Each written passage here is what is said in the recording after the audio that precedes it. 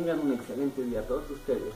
Presentaré el primer argumento a favor de la existencia de Dios utilizando la ley de causalidad. Esta ley nos dice que a todo efecto le precede una causa. Es decir, que todo lo que tiene un comienzo tiene una causa. Una casa tiene un comienzo. ¿Cuál es su causa? Los constructores.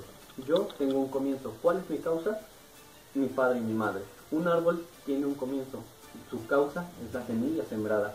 Las rocas, las montañas tienen un comienzo y tienen una causa. ¿Cuáles? Son los movimientos geológicos.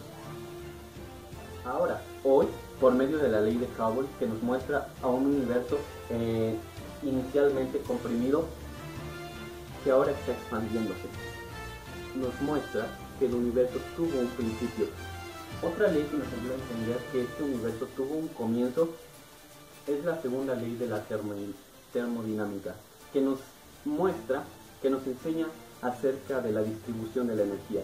En el universo, toda la energía está distribuida y conforme el universo se va expandiendo, esa misma cantidad de energía se va distribuyendo. Mientras más se expande, la energía tiene más espacio en donde distribuirse. Mientras más se va expandiendo, esa energía va quedando más separada y más distribuida, lo cual va dirigiendo nuestro universo hacia una muerte térmica. Si el universo no tuviera un principio y fuese infinito en el pasado como antes se creía, hace mucho que ya hubiésemos llegado a esa muerte térmica. Ahora, si el universo tuvo un comienzo, el universo tiene una causa, ¿cuál es la causa del universo? Cuando hablamos acerca del origen del universo, estamos hablando acerca del origen del espacio, el tiempo y la materia.